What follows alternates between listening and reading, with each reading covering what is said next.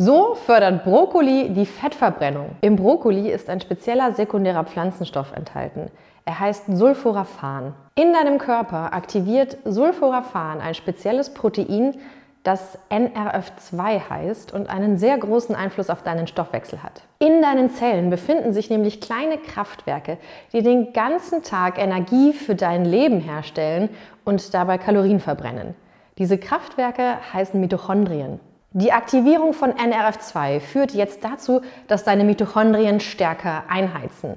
Sie produzieren mehr ATP, das ist die Energiewährung deiner Zelle, und brauchen dafür auch mehr Kalorien. Über diesen Umweg kann NRF2 auch die Fettverbrennung fördern. In Studien mit Mäusen konnte es außerdem vor Übergewicht schützen. Die Mäuse haben dabei eine spezielle kalorienreiche Ernährung bekommen, von der sie normalerweise stark zunehmen. Diejenigen Mäuse in der Versuchsgruppe, bei denen NRF2 aktiviert wurde, haben nicht so stark zugenommen. Die erwähnten Studien habe ich dir im Text zu diesem Video angegeben. Wenn du auch mehr über Sulforaphan und Brokkoli erfahren möchtest und welche tollen Wirkungen die Inhaltsstoffe deiner Lebensmittel auf deinen Körper haben, dann schau dir auch die anderen Videos auf unserem Kanal an.